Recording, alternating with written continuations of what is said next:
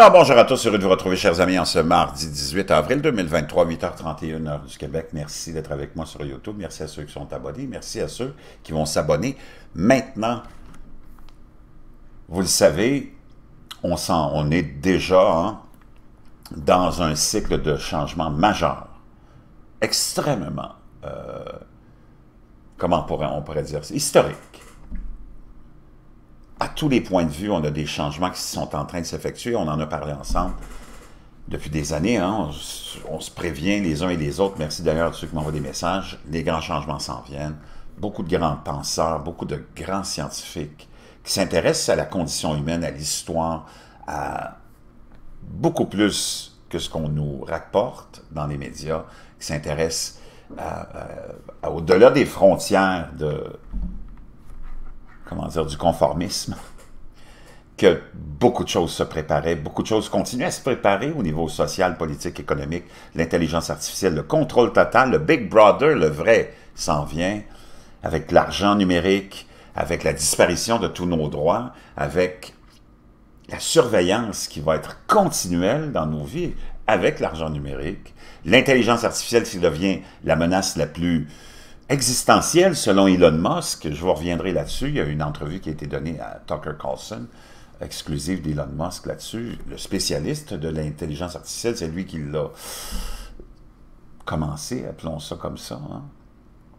Il y a tout ça qui, est en train de s'établir. On est en troisième guerre mondiale, et c'est pas moi qui le dis, hein, c'est euh, Emmanuel Todd qui rapportait ça. Emmanuel Todd, que mes cousins français connaissent sûrement, est anthropologue, historien, essayiste, euh, auteur de nombreux ouvrages, plusieurs d'entre eux comme La chute finale, L'illusion économique, ou Après l'Empire sont devenus des euh, classiques des sciences sociales. Son dernier ouvrage, La Troisième Guerre mondiale, a commencé, est paru en 2022 au Japon et s'est écoulé déjà à 100 000 exemplaires. Donc on le sait, l'Occident d'un côté, la Russie entre autres, et la Chine de l'autre. La guerre économique est déjà commencée.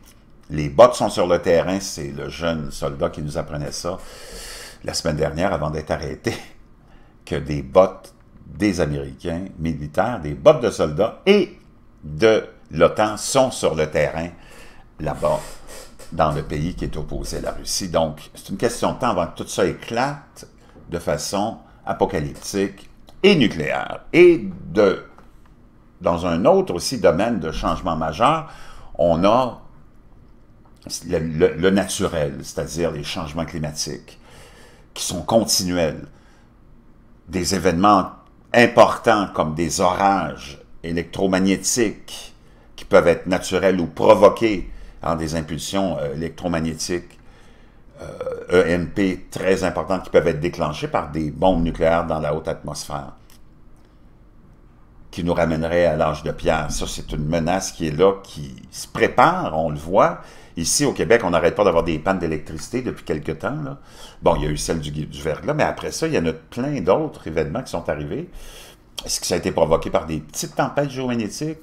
Ou est-ce qu'est-ce qui se passe? Il n'y a personne qui le sait, mais le soudainement, hein, les réseaux électriques, sont, on, on, le voit, sont très, très euh, fragiles et sont défaillants partout. Maintenant, tu as d'autres aussi éléments naturels qui sont vraiment très importants. Tu as des cycles, naturellement, pour des euh, tremblements de terre majeurs, des éruptions volcaniques meurtrières, et on le voit, la quantité d'éruptions volcaniques dans les dernières années a augmenté des éruptions majeures, ce qui fait que tu as beaucoup, beaucoup de déjà de couches nuageuses et de couches poussiéreuses qui viennent baisser la température de la Terre. On le voit depuis 3-5 ans, il y a du froid, de la neige dans des pays où euh, on ne s'attend jamais à avoir du froid de la neige, puis il y en a en quantité phénoménale. Il y a les cycles du soleil, minimum, maximum, grand minimum, grand maximum, qui sont là aussi, qui font partie de la nature, l'inclinaison de la planète. Il y a tellement de facteurs qui sont tous influents sur le climat de la Terre. Est-ce qu'on doit s'en aller dans l'hystérie? Je ne le sais pas. Mais dans la peur d'avoir des événements qui viennent donner hein, comme des gros coups de hache dans l'histoire, oui, c'est sûr. Et on le voit en ce moment, ça, bouillonne. Beaucoup de gens pensent qu'on est entré dans, qu'on entre, ou on est déjà entré dans un grand minimum solaire, parce que l'activité solaire de ces cycles de 11 ans, euh, même dans les maximums, était faible. Et on l'a vu avec les minimums passés, le Maunder, entre autres, ça peut durer des décennies et ça refroidit la température de la, planète. Puis pendant les euh, grands minimums solaires, il y a beaucoup, et c'est documenté, d'événements cataclysmiques, plus de tremblements de terre, plus de d'éruptions volcaniques. Maintenant, quelque chose de très fascinant, euh, on a une alerte rouge qui a été donnée euh, il n'y a pas si longtemps, et c'est le Sun qui rapportait ça, le 14 avril, donc il y a à peine une semaine, pour qu'il y ait un méga séisme de magnitude 9 se produise au large des côtes du Pacifique, alors qu'on vient de découvrir une fissure d'une taille de 600 000 au fond de l'océan, peut-être 1000 km.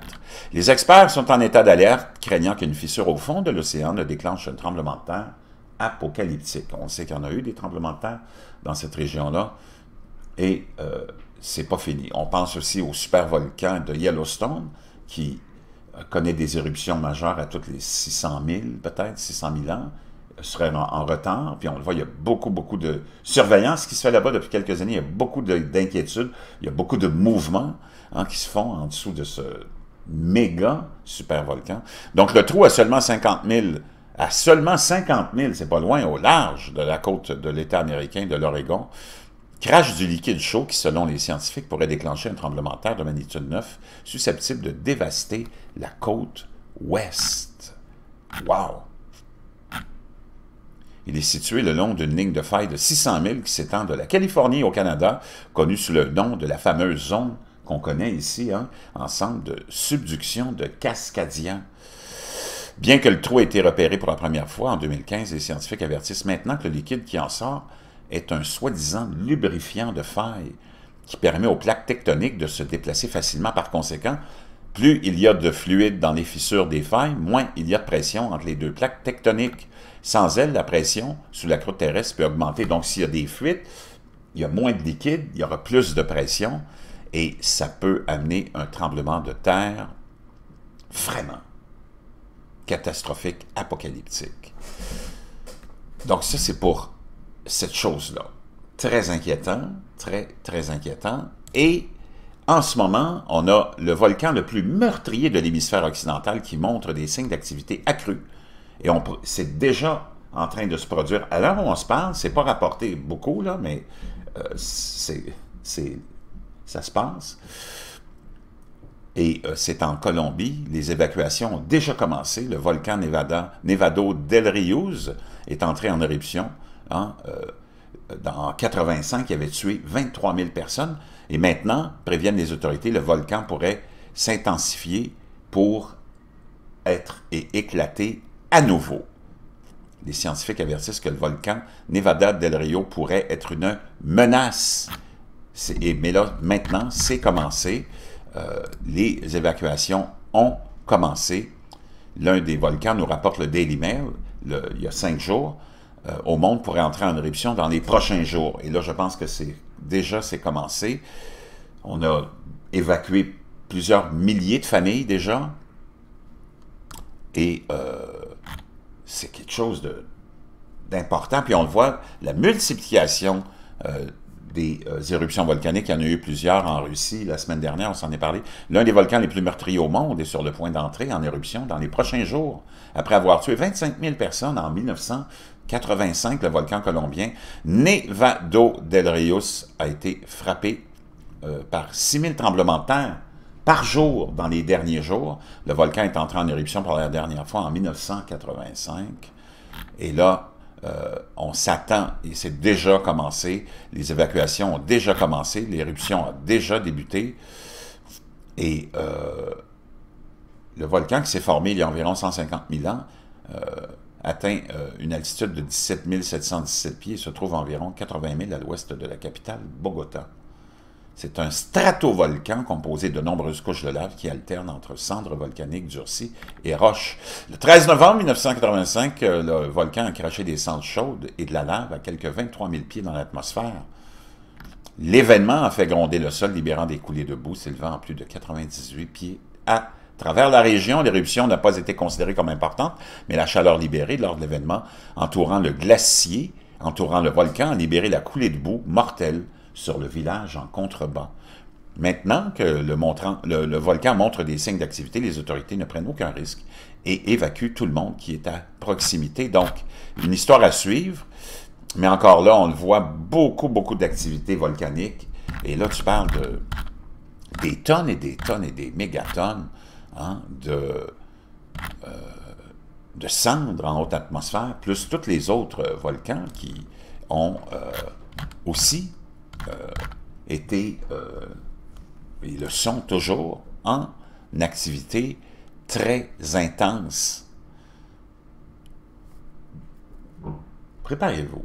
2023, ça va être une année comme toutes les autres, mais celle-là plus, plus, spécifiquement des plus éprouvantes, qui va nous amener où? Vers probablement l'effondrement peut-être de toute notre société avec ce qu'on voit comme euh, conflit qui va se diriger inévitablement vers une guerre nucléaire. Puis on voit toutes les tensions partout, on voit la guerre hein, des clans. Je peux dire une chose, waouh, on n'est pas sorti de l'auberge.